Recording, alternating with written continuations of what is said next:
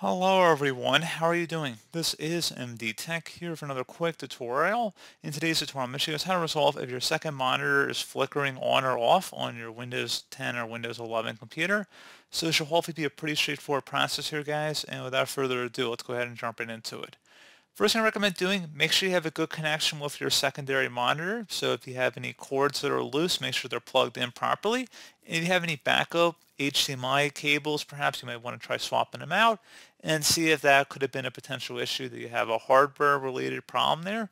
And that's typically what the issue is. And if you have any applicable driver software available online from the manufacturer, go ahead and search Google for whatever your monitor make and model is and just type in drivers and software after that.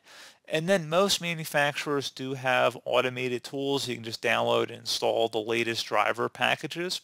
So I recommend taking a look into that, the second option there.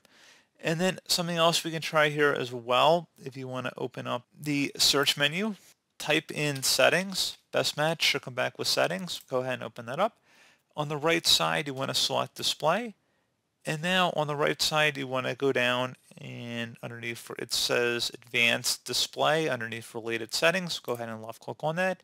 If your monitor supported multiple refresh rates, there'd be an option that would say choose a refresh rate under here, and you can go ahead and select 60 hertz, which I would recommend setting it to. It may be set to a lower refresh rate. So go ahead and consider changing that.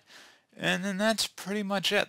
So pretty straightforward process, guys. Do hope I to help you out, and I do look forward to catching you all in the next tutorial. Goodbye.